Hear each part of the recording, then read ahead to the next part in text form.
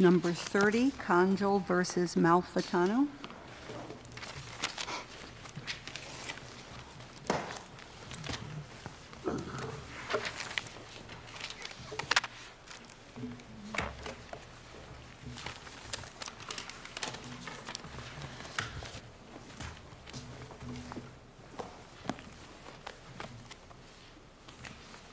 Good afternoon, counsel. Good afternoon. I'm Victoria Graffeo, and I'm representing the appellant Mark Malfitano in this matter. I would request two minutes for rebuttal, please. You may. The fundamental error by the appellate division in this case was its failure to recognize that this was an at-will partnership.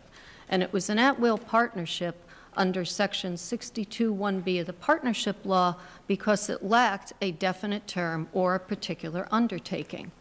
Section Counsel, I- I think 12.1. their- Their argument is that's kind of a default section, right?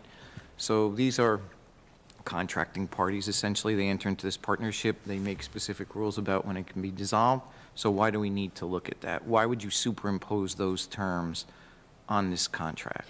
Well, I disagree that in this case that it's a default rule. It's not a default rule, because it's only a default rule if the parties have addressed the subject matter. Well, section- Here, there is no indication. Section 12.1 has a provision for dissolution and it, it- either a vote or illegality, but could you address that? 12.1 just says that it shall, that it shall continue until the election by the partners to dissolve the partnership. That's an open-ended, perpetual But it- but provision. it It sets out a does not proce- It represent, sets out a procedure to make a decision um, i- in the agreement, uh, and, um, and specifies that a decision has to be made by a majority of the partners. So are you saying that there has to be an express provi- provision in the partnership to default? there has to be an Or express... to not default? Go Excuse ahead. me. Go ahead. There has to be an express provision that provides, as the Gelman case indicated, Yeah, I thought the Gelman case. oh, definite me, term. Counselor. I thought the Gelman case was an oral contract um, with, with none of these specific provisions. well, certainly the facts of Gelman are very distinguishable, but the court was providing further clarification of a statutory phrase, Mm-hmm. definite term. That's been upheld since 1916 in the Hardin case. So what you need to look for is, and what I can't find that my adversary in the briefs on behalf of the Executive Committee provide here, is what was the precise date of the termination of this partnership? That's what's required. Now, if they had put exclusive language in Well, here, Is it that they were... required, let me ask this, I understand your, your, your particular undertaking and, and your definitional and your durational argument. Is it required, um, where, the- where there is an actual agreement, um, setting out a procedure for dissolution? Um, I see how it's required in a default proceeding under Gelman, I, I agree with you on Gelman, but, um, I'm not sure that's what we have here. Well, 12.1 Mm-hmm. does not address at what point a partner you're can, that- can bring, at what point the partnership terminates. It doesn't give us any indication. It's an, it's, So let me get this question out then. So you're saying that it's, it, the durational requirement is there, even in an agreement, even if uh, someone is contracted to conduct their partnership in a particular way, they're required to have a set term of partnership in every partnership agreement? no, if you have what you said, that would be a particular purpose, so that would be the particular undertaking. That would take it out of the at-will provision. The Counsel, problem- you started to speak about exclusive language. Yes, I, What I think it's. I think it's clear in the NRA Century case and the Prudential Insurance case that there's a number of ways that partnerships can avoid being deemed at will. One is to have exclusivity, to indicate the exclusive means of dissolving this partnership shall be, and then list those. I know that my adversary words. calls that magic words. I don't think it's magic words. I think it's what we require under basic contract principles. There would still be no There's definite that- term That then, right? Specificity supplanting the partnership law is not in this agreement. There- Even with those words, there would be no definite term.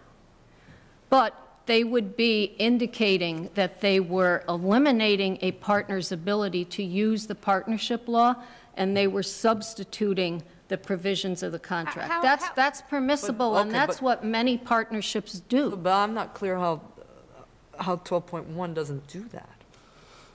Because it just has the election by the partners to dissolve the partnership. It doesn't even say majority of the partners, quite Right. honestly. Yes, but since that's not what happened, isn't he in violation of the agreement? So does it really matter if it's at will? Does it No, really if it's, matter? if it's at will, a partner has the ability to rely on Section 62(1)B and can notice a dissolution. Wouldn't that render other provisions of this agreement completely superfluous, though? About different means of transfer and, and, and, and uh, the, the, the obligation to fulfill certain capital commitments? uh, Well, well, no, because they knew how to escape the requirements of the partnership law for disability and death and bankruptcy. There, they clearly indicated that those were the No, the no, but these other specific, provisions, they wouldn't have any meaning if anybody, if, if then a person could just, at will, declare the partnership dissolved. Well, Particularly- that's- Particularly the sale provisions, right? The that- the um, requirements, I think what Judge Stein is talking about is the provisions that say, for example, if you want to sell to a a permitted person, then you don't need approval, but if you want to send, sell to somebody outsider like me, you've got to get a bona fide offer in writing submitted to the committee, they have a right of first refusal. Those provisions would all be irrelevant, you could simply just dissolve, no? Well, not if you met the requirements of, those provisions are established for certain fact patterns, but here, in terms of section, the section entitled dissolution, does not provide specifically that only these provisions allow a partner to dissolve. Doesn't affect the other provisions of the agreement that allow transfer to a third party or that allow some, some other uh, remedies that are available to the partners. The, you know, the, the partnership law has been in existence for almost 100 years. The sky is not going to fall in by upholding the at-will rule. I mean, most partnerships, there's a number of ways that they're able to contract around it. I mean, first of all, what they could have done here, when he noticed for dissolution, since there was, no- well, since there's clearly no specific time limit here, they could have done the accounting, paid him his interest, and continued the business. They never dissolved in this case. There was never a termination. The so mall, the mall was- was never out of business for even a single day. So if the partnership, this is, I've been struggling with this, if the partnership was never dissolved, how can there be a wrongful dissolution? Because upon notice of a dissolution under the partnership law, by operation of law, there's a dissolution. Dissolution is distinct from not- termination. Right? I thought you said it had not dissolved. I'm sorry, I should have said had, was not terminated. Okay. They, they did not even wind down the business because they considered it a wrongful dissolution notice. They just continued the business. They eventually um, did reconstitute the, the partnership. Do you want to address the The- attorney's fees question for a second? Yes. Thank you. The, I- I think the attorney fee award is en- entirely unjustified in this case. It really violates the American rule. There's no provision for it, either in statute or in the actual partnership agreement itself.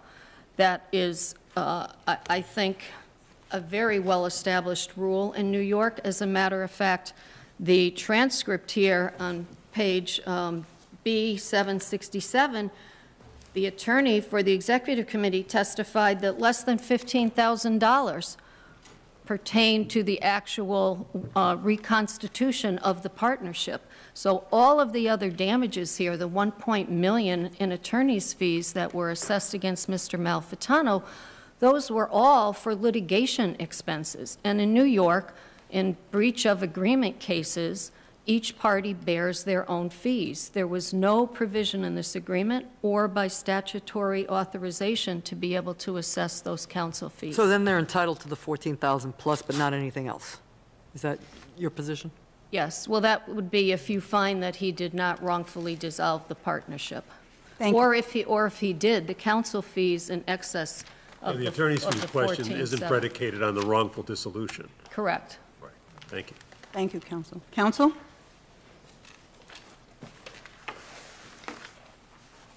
Chief Judge DeFiore, and may it please the court, Caitlin Halligan on behalf of the respondent partnerships.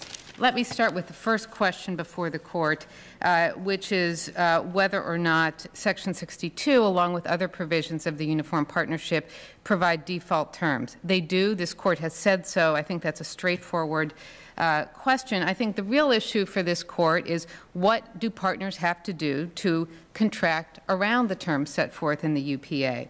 Uh, as we say in our brief, there are no magic words that are required for a couple of reasons. First of all, the Uniform Partnership Act, as this court has stressed, places primacy on the ability of partners to pick the terms that they want. There is no formula that is required if the legislature. There must be some threshold. What's the threshold? Absolutely, Your Honor. The partners have to make clear that they do not intend a partnership to be at will. They have absolutely done so here. The provisions that a few of, of uh, the members of the court identified with respect to transfer rights, as well as capital calls, as well as the, the clear language in 2.3 and 12.1 that the partnership, quote, shall continue until one of several enumerated events happens, makes absolutely clear that the partnership is not intended to be at will. Those are completely mutually inconsistent. And indeed, if you were to deem a partnership like this at will, then anytime a partner didn't want to abide by a number of the other provisions in the agreement, such as the transfer restrictions or the capital call, she could simply decide to dissolve at will and walk away. Those provisions would be rendered completely nugatory. That is also why the wide array of amici that have filed before this court have said that reading this partnership agreement to be at will, notwithstanding the clear choice that the partners made to the contrary, would be very destabilizing. So, so counsel, my, my earlier question, I'm still wrestling with, which is, you essentially are saying, and suppose I agree with you, that there's a contract that says a single partner cannot dissolve the partnership. Yes. Right. Then a single partner saying, I'm dissolving the partnership, has no legal effect. So why is there a wrongful termination here? And let me, let me posit this Yes, to you. Honor. That the wrongful termination provision in, in the statute is meant to deal with circumstances where the partner, the terminating partner in question, actually has managerial authority over the partnership. That would be the wrongful termination or, or uh, dissolution because the whole thing is gone. But where, if, I mean, if I announce I'm king of England, uh, I'm not king. Well, Your Honor, a, a- couple of points. The, the, first of all, if you look at Section 62, right? Section 62, which is what uh, my adversary relies upon to suggest that this is uh, an at-will partnership, says that the partnership can be dissolved in contravention of the agreement between the partners where the circumstances don't permit a dissolution under any other provision. That's section 62, sub 2. That, I would argue, is exactly what happened here. The dissolution, because it was not in conformance with 2.3 and 12.1, was in contravention of the agreement. We do not dispute that a partner has the power to walk away from a partnership. What Section 69 then does is to explain what the consequences of a wrongful dissolution are. Section 69 explains that in the event of a dissolution, if the dissolution is permissible, the partnership property after liquidation is allocated among the partners on a pro rata basis. Is that because under the law you can't force people to stay in a partnership? Absolutely, and we don't, we don't contest that, Your Honor. Uh, There's, I think, no question about that. I've seen no decision from any court suggesting that you can bind a partner, just like with breach of contract. So You the business breach. continues and they form some other partnership?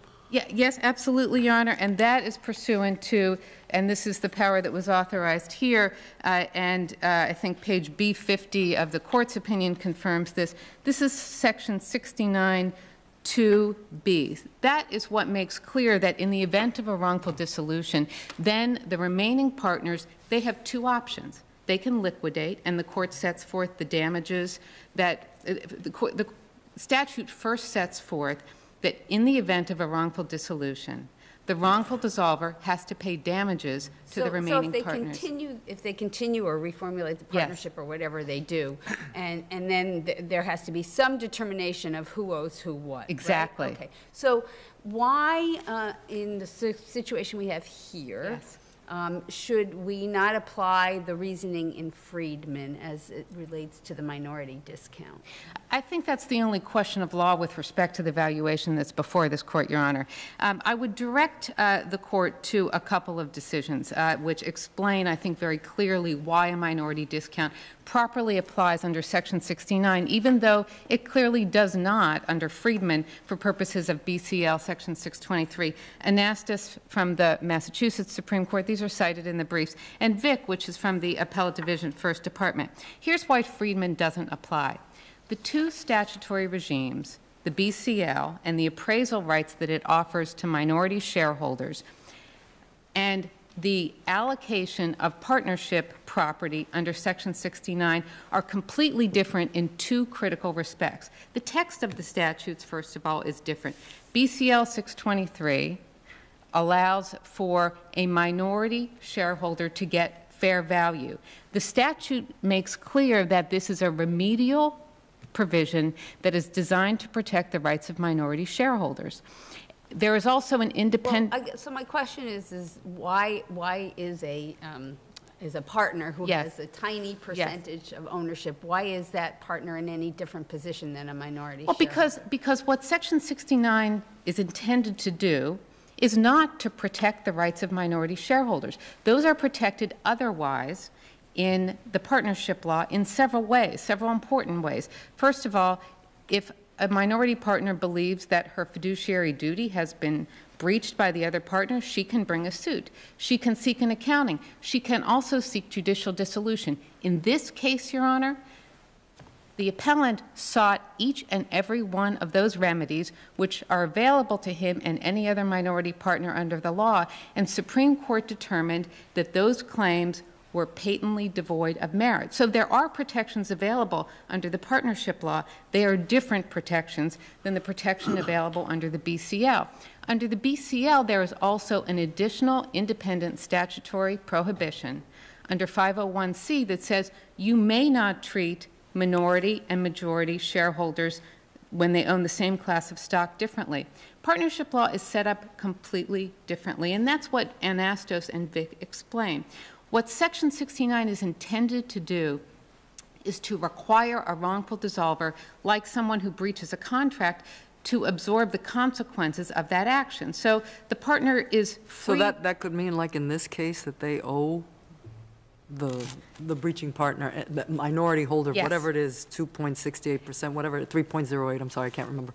Uh, 3.08, Your Honor. Right, over a million And dollars? And let me explain why. And, Your Honor, let me acknowledge that this is an It was a unusual... 66% share on that minority, right? That, that was the The minority deduction? discount was 66%. That's 66%. something that uh, there's perfectly strong factual support for. It's a question, that particular issue Well, is a it- question it wasn't, fact. it wasn't contested by their expert, isn't that the core of your argument? Absolutely correct. You you know, while while we're on the topic, and you, I want you to answer Judge, Yes. uh, Judge Rivera's question, but can you also address, I, I struggle with what the difference is between a marketability discount Yes, and a Your Honor. minority discount. Let me- I- Go ahead. Let me try to address that and also uh, address Your Honor's question about how could it be that someone owes money when they're trying to walk away from a partnership.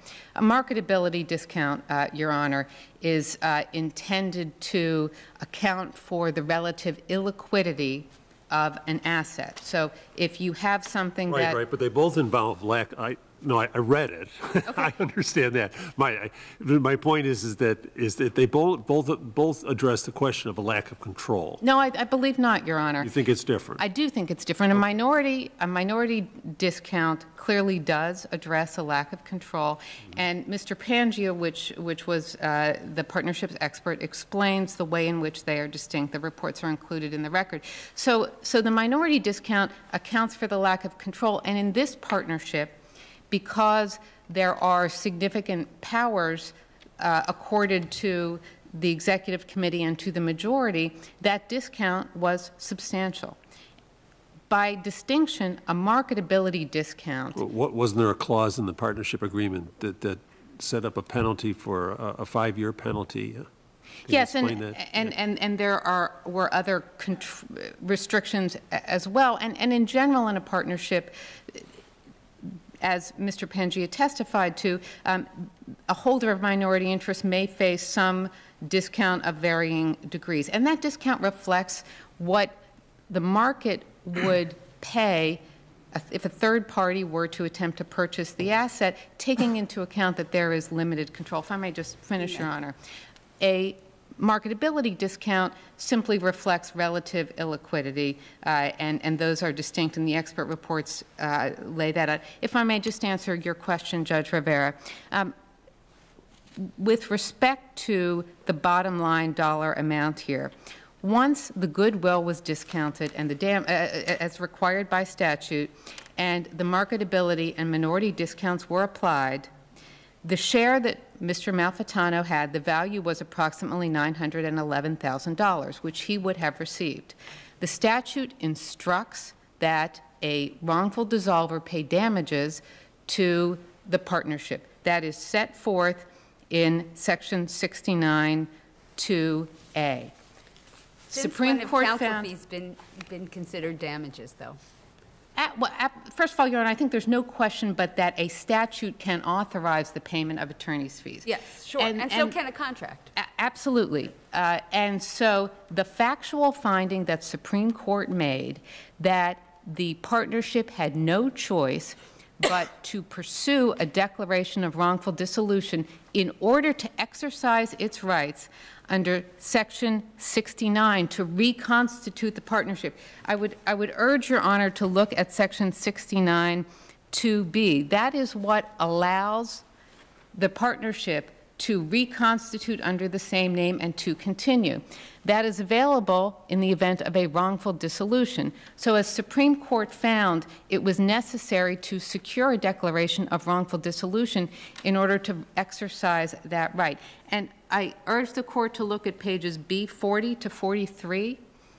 Supreme Court lays out the devastating consequences that it would have resulted in to not proceed with this litigation, explained that it was Mr. Malfitano's That- That can be said of, of almost any situation, can it? If, if I didn't go to court to preserve my rights, I would have been further damaged? Uh, n- No, Your Honor, I think that what, I mean, what it- Supreme Court says is that it was an absolutely direct connection. I think that's a finding of fact that is with respect not before this court. And I think if you look at Section 69 Wasn't it about the loan? Isn't that what was going on, if they didn't get this loan? The- Well, it was, a- it was a refinancing, and, Refinancing, I'm and. Mr. Malfitano, who was counsel to the companion management company, um, was uniquely aware of the consequences of his actions. So I think Supreme Court explains why it is that incurring these fees to prosecute this action, including nine appeals, 10 years of litigation that Mr. Malfitano chose to proceed with